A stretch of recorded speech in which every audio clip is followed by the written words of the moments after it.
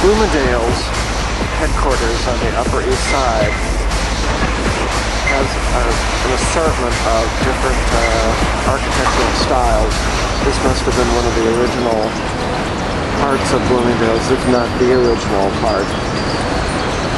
See Bloomingdale Brothers above the, uh, the awning. And it connects literally to this 1930s edition, which is the front of the store on block on Lexington Avenue on the Upper East Side of New York. And I think they converted uh, the old building into sort of a loading dock uh, below and above probably corporate offices. And then there's another addition, very nondescript addition on the corner that connects to it. You can see all the,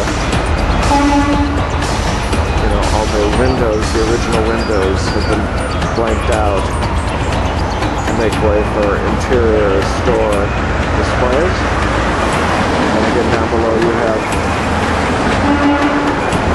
you know, all the loading dock space and so on. It's quite interesting.